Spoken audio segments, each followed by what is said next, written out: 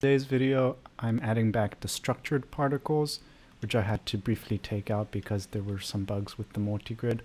But now you can see me dragging them through the water, uh, and uh, it works now with the multi-grid stuff.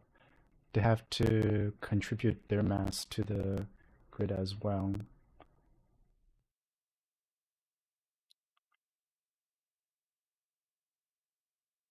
There are about 4 million particles dedicated to these structures currently, and I'm working on adding more like ways you can structure them, like as ropes and as other things. Just a, uh, yeah, cloth and stuff like that. But yeah, it's all working decently. I can get back to the fountain. So yeah, I'm pretty excited about this actually. Um, actually very excited.